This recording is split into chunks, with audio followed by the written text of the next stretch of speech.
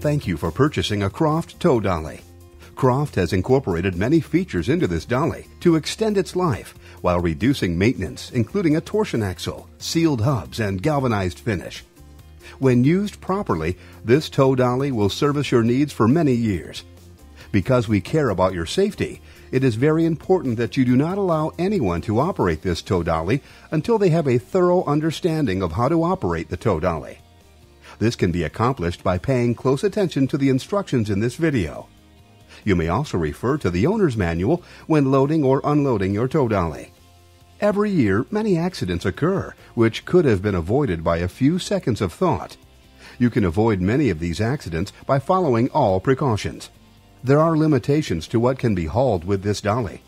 Not staying within these limitations may cause damage to your towing vehicle, tow dolly, or the towed vehicle.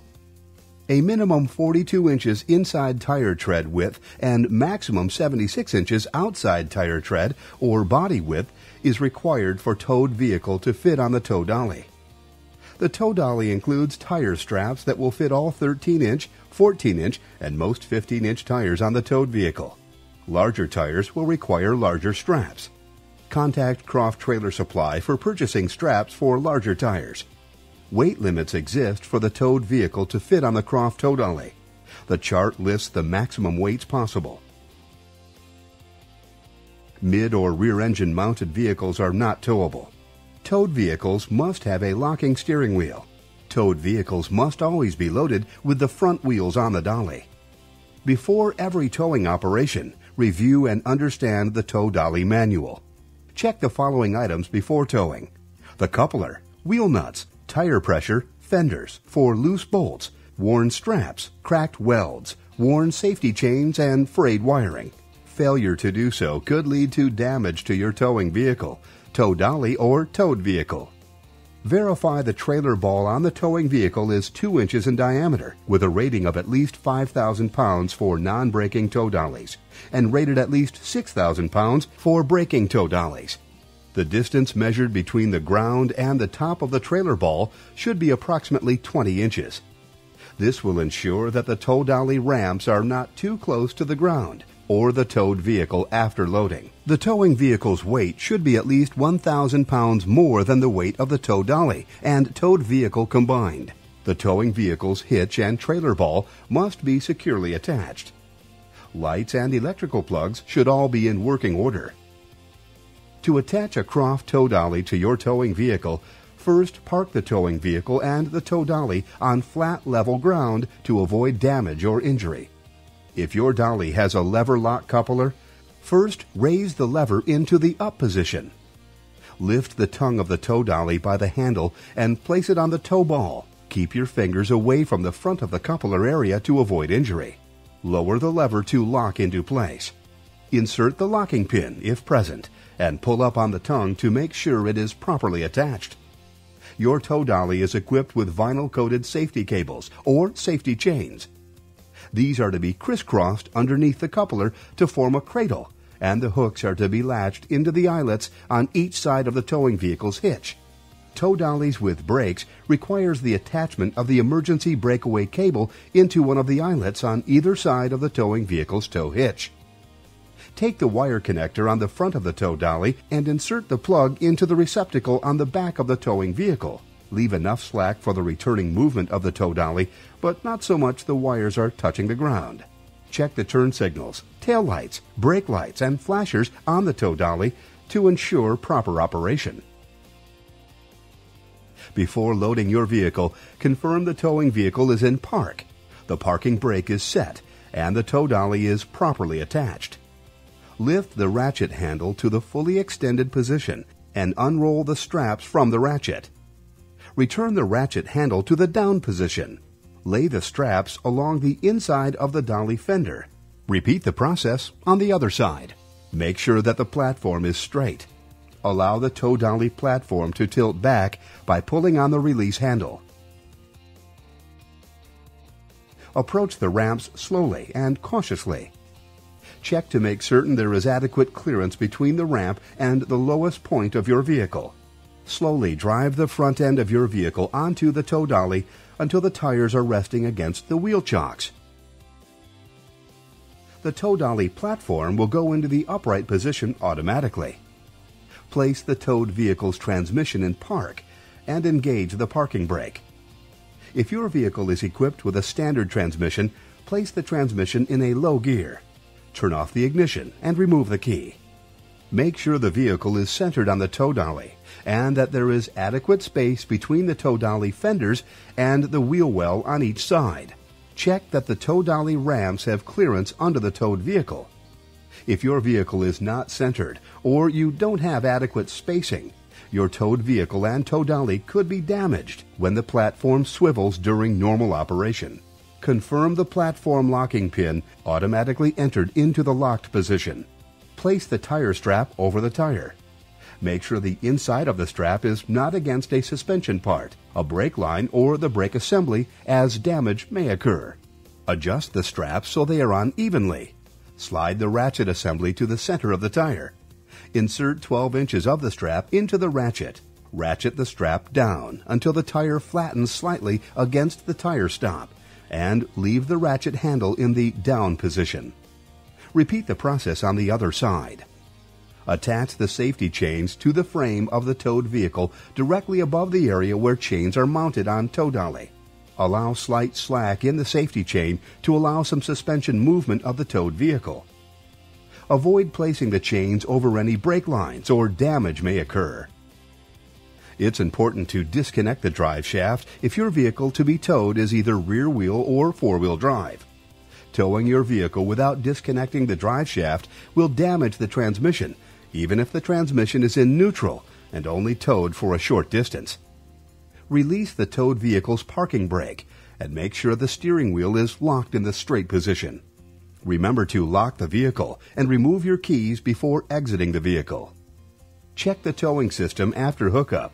Tow about 100 feet and perform a safety check on all of the connections. Check the safety chains, ramps, electrical hookups, tire straps are hooked up properly, and the coupler is properly secured to the tow ball. Repeat this safety check after the first 5 miles and then every 50 miles thereafter. It is a good idea to do a safety check anytime you have been out of sight of the vehicle. Once everything is safely connected to the tow dolly, you're ready to tow. Never load anything in or on the vehicle while it is being towed. This will create an overload situation and cause failure of the tow dolly during your trip. Do not attempt to back up the towing vehicle with the tow dolly and towed vehicle attached. This will result in damage to your towed vehicle, towing vehicle, and tow dolly. If it is necessary to back up the towing vehicle, unload the towed vehicle from the tow dolly and disconnect the tow dolly from the truck and move separately. Play it safe. Park where you can pull ahead when leaving. Always unload the towed vehicle from the tow dolly before disconnecting it from the towing vehicle. Failure to do so could cause serious injury and damage to your vehicles. For proper vehicle unloading, park the towing vehicle and tow dolly on flat level ground and apply the parking brake on the towing vehicle and the towed vehicle. Reinstall the drive shaft of the towed vehicle if rear wheel or four wheel drive. Remove the safety chains from under the towed vehicle. Remove the tire straps by raising ratchet handle all the way vertical and unrolling the strap. Leave the handle in the down position so the towed vehicle does not hang up on the handle when backing off the tow dolly. Take the straps off and lay them on the outside of the tires. Take the strap off of the other side in the same manner. Release the platform locking pin. Release the parking brake on the towed vehicle and slowly back down off the dolly. If the drive shaft was removed from the towed vehicle, check the vehicle's transmission fluid level before driving any distance, as transmission fluid may have leaked out. Return the platform to the up position and confirm the platform locking pin automatically entered into the locked position. Return the safety straps and safety chains to their storage positions. If you are ready to store the tow dolly, unplug and store the electrical wiring, disconnect the safety cables, unlatch the coupler, and lift the dolly off the trailer ball using the handle. Attaching removable straps. Removable straps can be easily removed from the dolly and stored separate from the tow dolly. After pulling towed vehicle onto the dolly and setting the parking brake, drape the tire strap over the tire with the hooks toward the rear of the tire.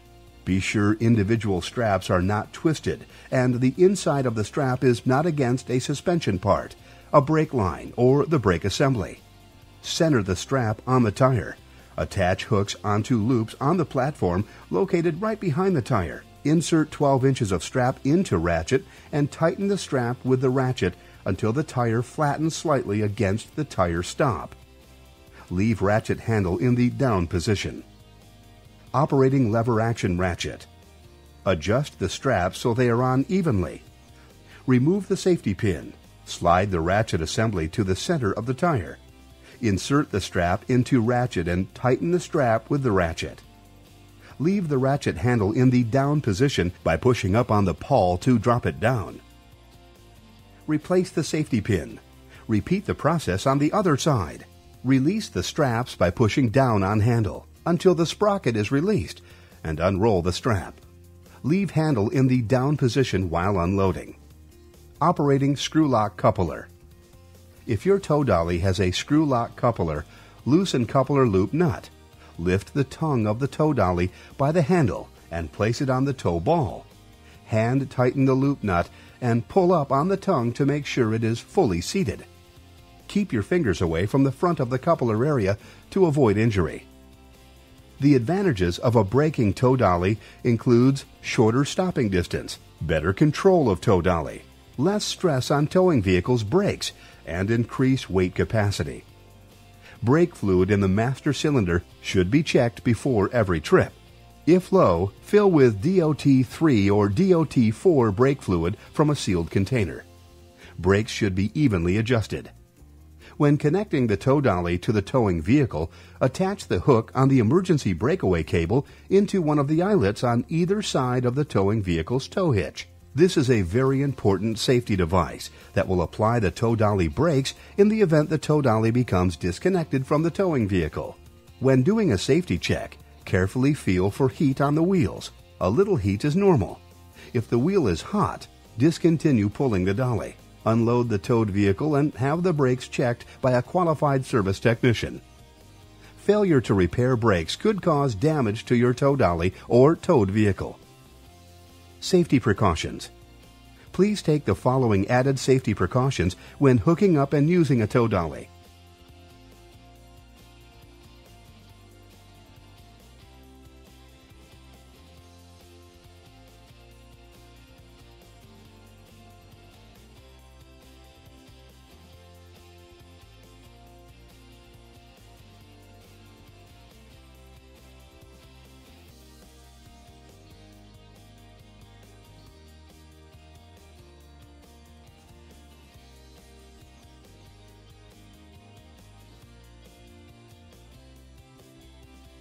Contact Croft Trailer Supply if you have questions.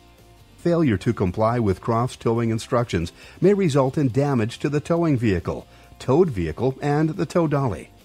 Croft Trailer Supply will not be responsible for damage as a result of improper use. Thank you for purchasing a tow dolly from Croft Trailer Supply. Have a safe trip and happy towing.